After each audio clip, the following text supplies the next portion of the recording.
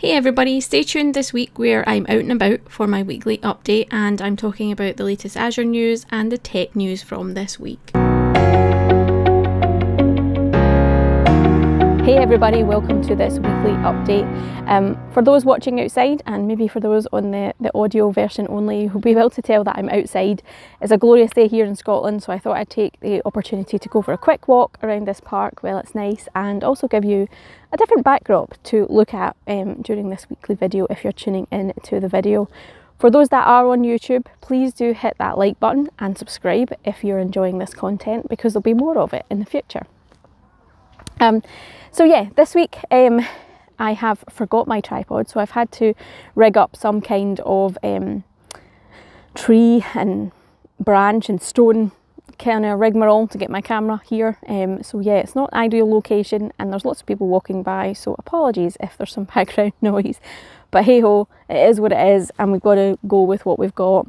Now, in terms of this weekly news, um, it's been fairly quiet, but there are a few pieces that I want to cover off. Um, so the first one is that with Windows Server 2022 going generally available, um, we're now seeing some of the Azure services officially support that. And the first one that we've had an announcement around is the Azure Monitor Agent.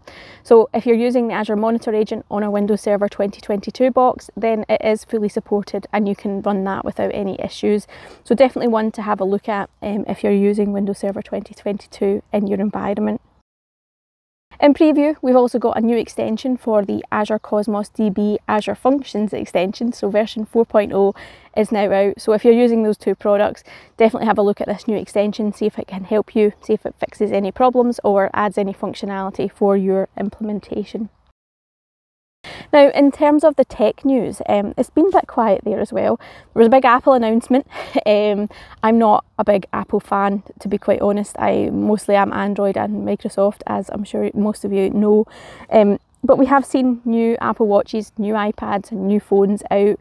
Um, I'm not blown away by any of the features or functionality by any of those new bits of tech, so not something I would be rushing out to necessarily buy. Um, I have a really old iPad here, um, and it serves my function very well. Lets me browse some internet when I'm out and about. Um, watches um, uses it for downloading things like Netflix and Amazon Prime and stuff like that when we're travelling and watching um, on big screens and stuff, can plug it in. So I'm not in the need for any new of these bits of equipment.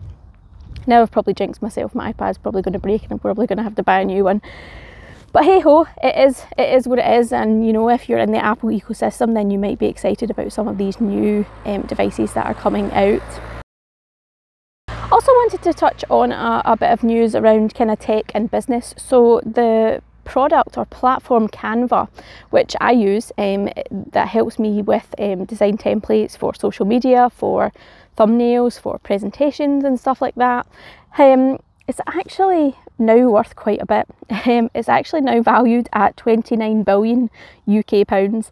Um, it's an Australian company. Um, it was founded several years ago um, by an Australian couple, or I'm not sure if they're a couple actually.